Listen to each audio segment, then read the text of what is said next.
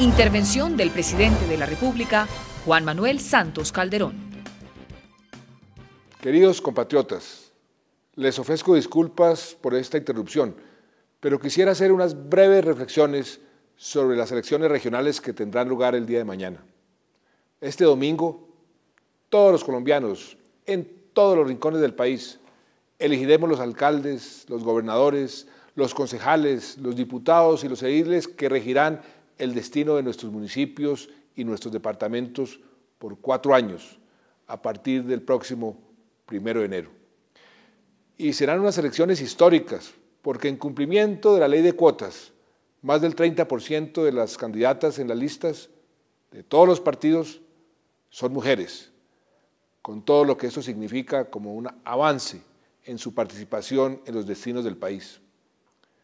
De parte del gobierno, y de nuestra fuerza pública hemos hecho todo, todo lo que está a nuestro alcance, como lo haremos mañana, para que los colombianos puedan votar con tranquilidad, con libertad y a conciencia.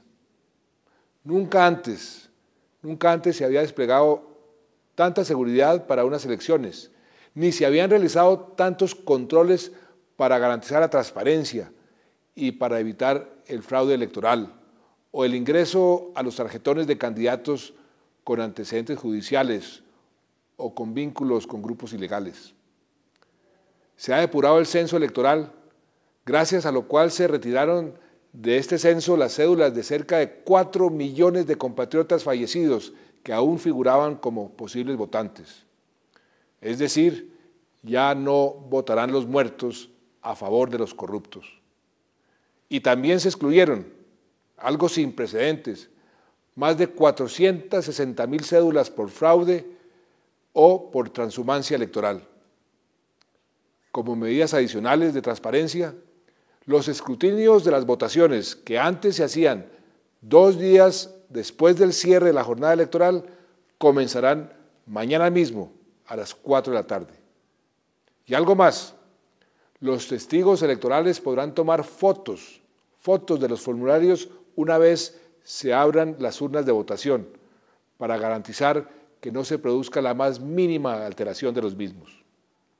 Porque la transparencia en estas elecciones ha sido y es nuestra prioridad. Eso es lo que legitima a nuestra democracia. Con ese mismo objetivo, pusimos en funcionamiento en el Ministerio del Interior una ventanilla única de antecedentes de candidatos en la que los partidos hicieron cerca de 170 mil consultas sobre aspirantes a integrar sus listas.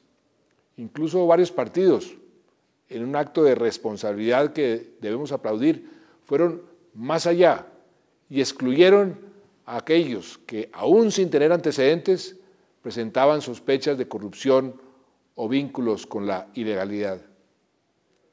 Como es natural, al haber más controles, se produjo más información sobre candidatos cuestionados a los que se les negó la inscripción o el aval. Pero esto no es más que una buena noticia, porque significa que el sistema de depuración funcionó y está funcionando. El gobierno no tuvo ni tiene candidatos favoritos en ninguna parte y nos hemos preocupado mucho, muchísimo, por mantener una total imparcialidad.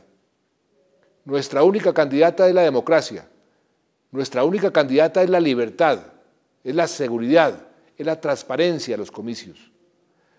Más de 350 mil hombres y mujeres de la fuerza pública estarán en los puestos de votación, en las calles, en las vías, en las veredas, garantizando el sagrado derecho al voto de los colombianos.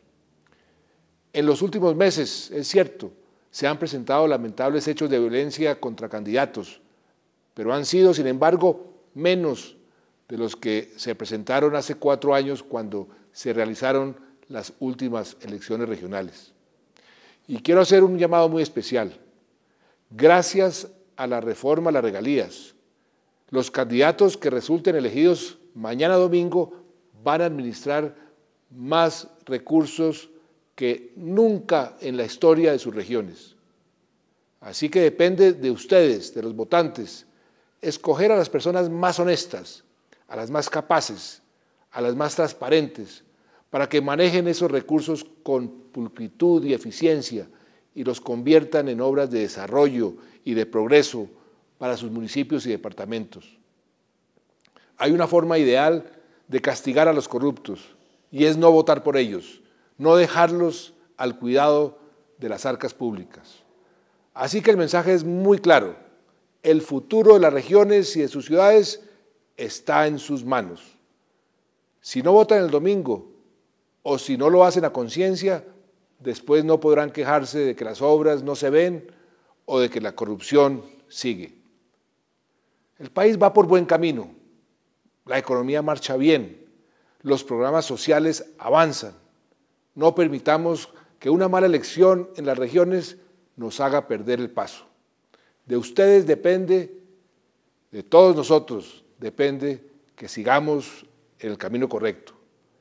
Elijamos bien, elijamos a conciencia, votemos temprano, antes de que llueva, votemos en calma y sintamos la tranquilidad de haber ejercido nuestro derecho al voto y de haber cumplido con nuestro deber sagrado hacia nuestro país. El futuro de Colombia y de sus regiones se juega mañana. Votemos temprano y elijamos bien. Buenas noches a todos.